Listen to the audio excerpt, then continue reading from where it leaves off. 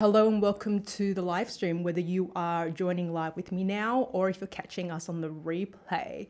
What are some of the best live streaming platforms that you can use right now, whether you are interested in streaming just to one platform or multi streaming? I'm going to go through the top live streaming platforms and we're going to talk about the pros and cons of them and just in general what you would actually use them for and if they're actually a fit for you and your business. For those of you who don't know me, my name is Sara Nguyen and I help coaches, consultants, and creative pros build their business using video with ease. And I live stream a lot about live streaming. Now, make sure that you check out the links in the description because I'll go back and put all of the timestamps as well as links to any resources that I mention in this video. So, live streaming platforms. What are there? There are lots of live streaming platforms, but we are going to go through some of the top ones for business, right? So this is specifically for business. If you're a gamer, that's not my jam. I'm not quite the right person to be talking about gaming because I don't game myself and I don't live stream gaming. But if you're a business thinking about, okay, I want to live stream, I want to get my message out there, I want to create more content so I can get more visibility, you're in the right place. Now, let's start with the big obvious one. So, right now, I am live streaming via YouTube Live as well as Facebook Live. But let's talk a little bit about YouTube Live. So, with YouTube Live, you can access YouTube Live and live stream via YouTube via desktop and mobile if you have more than a thousand subscribers for mobile. So, you can access it from desktop regardless of how many subscribers you have but if you want to live stream from your mobile via YouTube Live, you need to have at least a thousand subscribers. Now, there are lots of benefits to live streaming on YouTube, and the biggest obvious one is that if you create live streams or if you live stream to YouTube, you get the benefit of your video indexing and search afterwards. So that's a massive benefit to as an incentive to live stream because it enables your video to get found after you've actually live streamed. So there's a big misconception that when it comes to YouTube videos that live streams are not as valued as uploaded videos. And for this last year, I've predominantly been live streaming only as opposed to uploading videos. As a result of all of the craziness that's happened, this is how i am choosing to um, cope with it. And this is how I'm choosing to create content. Now, I have found personally that my live stream videos get as much reach and as much engagement as my uploaded video. So I really believe that the misconception that people don't value live video as much as an uploaded video is not true. And what it really comes down to is how you deliver your content, right?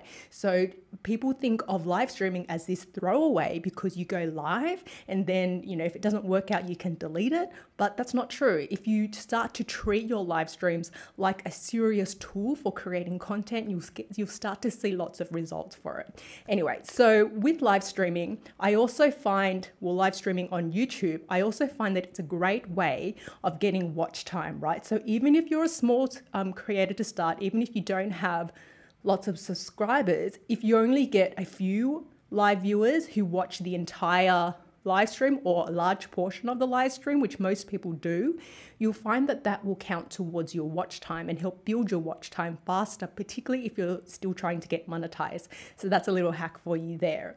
And I really feel that when it comes to YouTube Live, people also think that why would I live stream on YouTube? Is my audience there? And from my experience, I think that the audience on YouTube is so vast and so um, broad, and like the, there really is um, a category for everyone. And if you are a business, I, I, would be really surprised if, in one form or another, your audience isn't on YouTube. Um, it's one, you know, one of the biggest search engines. Therefore, I find YouTube Live probably one major platform that you should consider if you are a business, if you want to start live streaming to get more reach, to generate more content, and to help start converting people into your products and services. So YouTube Live, absolutely love it, but just remember that, you know, you have to do the other things to make your video successful. You need to optimize it. You need to, you know, do your keyword research. You need to make sure that you have um, titles and tags and thumbnails. So you still need to play that game when it comes to um, YouTube Live, but that doesn't mean it's you know not doable and it, that doesn't mean that there's no value so absolutely love youtube live as an option for a live streaming platform now, the next one is one of my favorite babies. So, with Facebook Live, you once again can access Facebook Live um, via your desktop or via your mobile device. And it's also available on your business pages as well as your personal profile. But the benefit of live streaming from your business pages is that you get access to analytics. So you get to see the data and the insights behind how your live stream performed. But the main secret sauce behind Facebook Live is that you're able to then use your live videos and run them as ads to get more views. And you may be thinking, why would I even bother to do that? And once again, I really think this is really misunderstood when it comes to Facebook because generating views on your Facebook live streams using ads isn't isn't that's not the only step. The beauty of Facebook is with the audiences that you can build. So you can start advertising to cold audiences and then once you have this group of cold audiences who've interacted with your Facebook live stream, you can then turn around and start marketing to that audience. And as that audience grows larger, you have a larger pool of people to sell to, right? pardon me.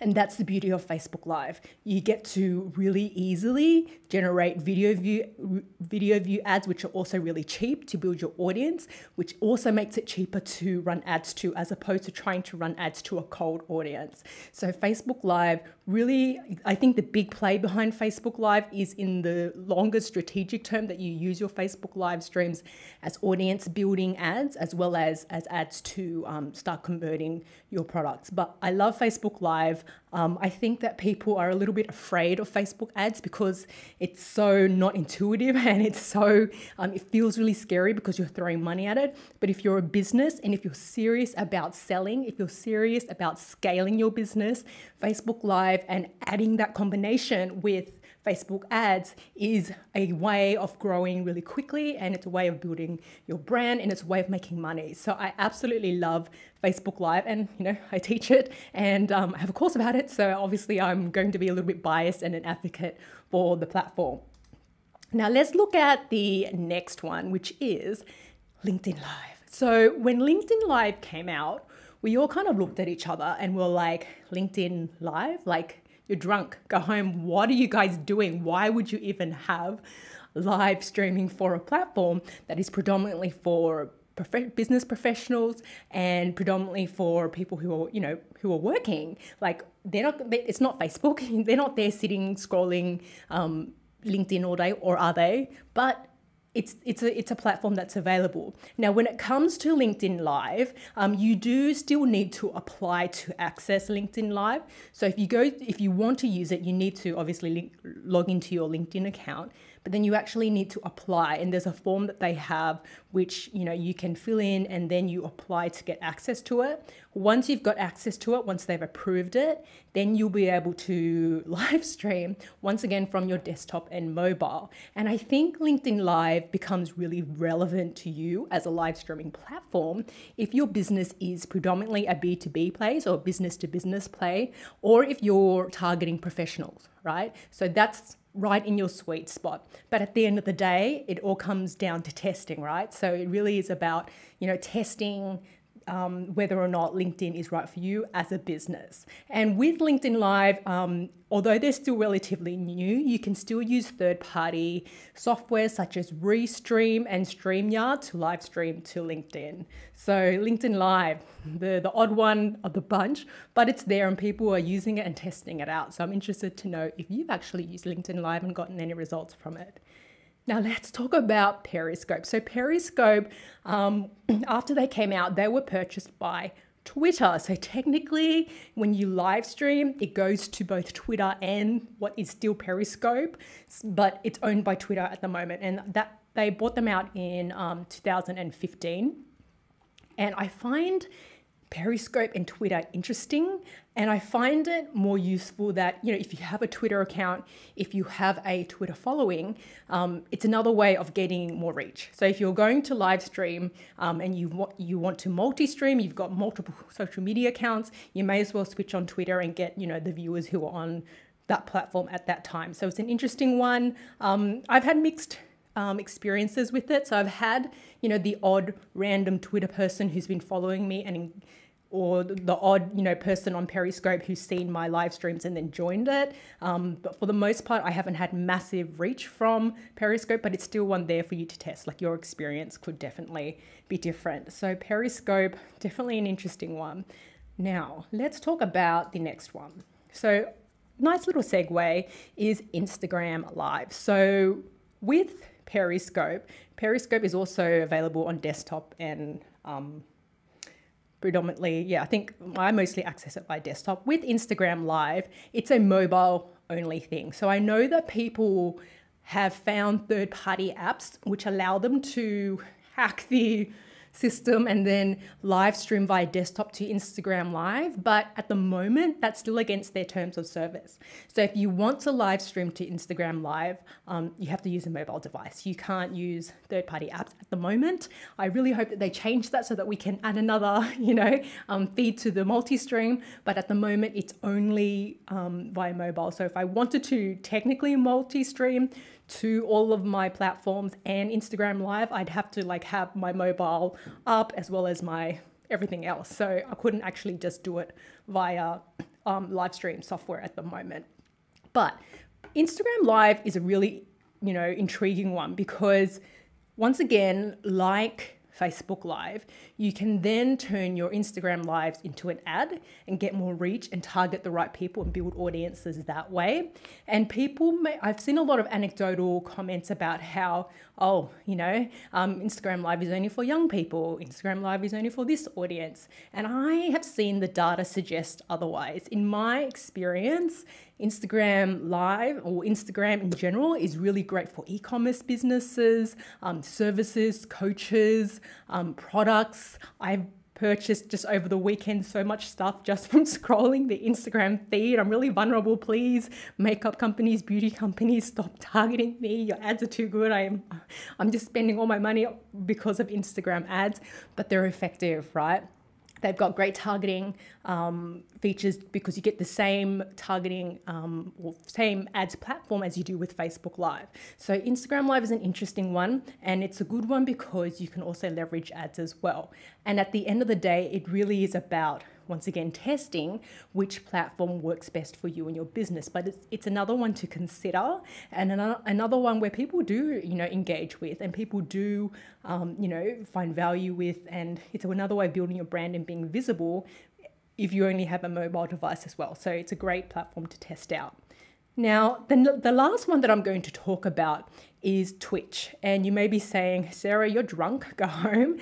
And in my defense, Twitch, yes, has been known as a gaming platform, but it's starting to see traction now where people are using it and channels that are non predominantly gaming channels, such as art channels, such as design channels, such as um, I've seen like some robotics and some science channels and some tech channels um, start to really grow and start to build an audience on Twitch at the end of the day, all of these platforms come down to you testing and seeing if your content, um, you know, resonates with the audiences on these platforms, and you giving it a try in order to see if it works for you. But I'm starting to see people get some movement on Twitch. I'm not on Twitch at the moment, but I'm considering it as another platform to test anyway, because you know, I find that particularly if you're multi-streaming, it, all it is in order to live stream to another platform is essentially switching another um, button in the system so that you you know, live stream once and it goes to all of these platforms. So Twitch is another one which is intriguing me and um, I think it's definitely one worth testing as well. So I wanted to talk a little bit about um, multi-streaming a little bit more. So we have all of these platforms that I talked about, YouTube, Facebook, LinkedIn, Periscope, Twitch, with the exception of Instagram that you can't actually connect to third-party apps to multi-stream to. The rest of them you can essentially live stream to. And that's a, a, really efficient way of testing them all out in one go. Because if you're going to live stream to, you know, once, you may as well live stream to all of them.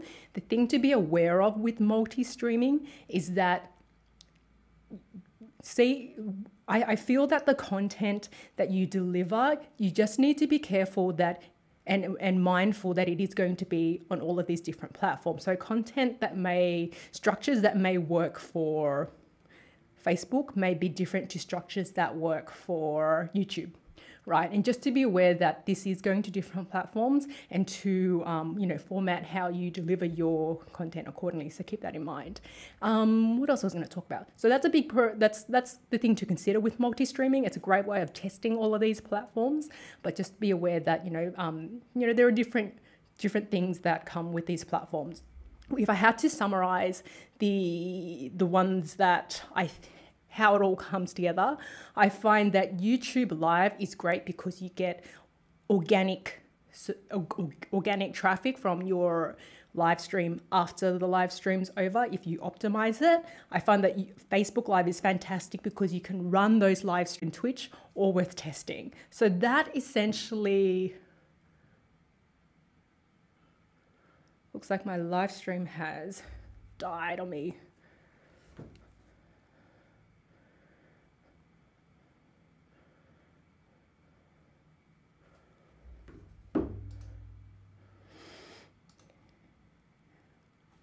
Okay, we're back. That was really weird. Um, okay, we had some weird thing there, but we're gonna, keep going because we're gonna finish the live stream. So that essentially wraps up today's um, live stream. We only had one technical hiccup, but that's okay. If you found this video useful, give me a thumbs up and um, if you found this video useful, give me a thumbs up and don't forget to subscribe to the channel where I do lots of social media tutorials, live streaming tutorials, and I help you build your business using video with ease. Now, if you are interested in live streaming, make sure that you grab a copy of my Facebook Live cheat sheets. It's a super simple guide to get you up and streaming with Facebook Live, even if you've never hit record before. So I'm going to put it on the screen as well as in the link in the description. Thanks for joining me today and I'll see you on the next video. Bye for now.